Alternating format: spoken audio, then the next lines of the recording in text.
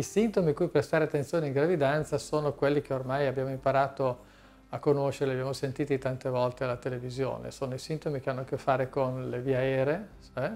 anche le vie aeree superiori, quindi la gola, la gola irritata, la tosse, la tosse irritativa eh, e in particolare questo virus può dare eh, dei sintomi particolari che sono la mancanza del gusto e la mancanza del senso del, degli odori, e questo è un segno molto particolare di questo virus. E naturalmente la febbre, che è quella che controlliamo tutte le volte che si accede appunto in un ospedale o in un luogo pubblico. Mm?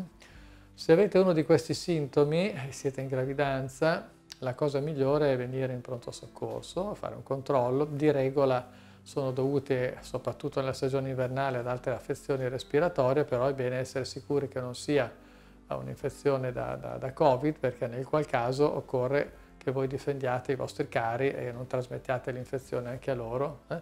E quindi se avete questi sintomi, se li sentite, è bene venire in pronto soccorso, se ormai si fanno i tamponi rapidi nei pronto soccorsi ostetrici, quindi in poche ore o addirittura in pochi minuti avrete la risposta e sapete come comportarvi.